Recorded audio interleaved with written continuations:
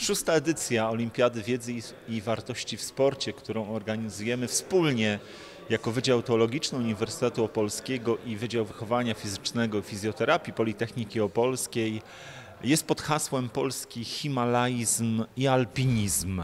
W dniu dzisiejszym w auli Wydziału Wychowania Fizycznego i Fizjoterapii Politechniki Opolskiej gościmy specjalistów y, z zakresu alpinizmu i himalaizmu. Jest to konferencja organizowana przy współudziale z Uniwersytetem Opolskim, z Wydziałem Teologicznym.